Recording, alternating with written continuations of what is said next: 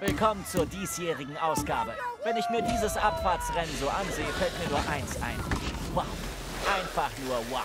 Statt Leben, statt Beben. Um hier zu gewinnen, muss man die Kontrolle haben, aber gleichzeitig außer Kontrolle sein. Ich kann es kaum erwarten.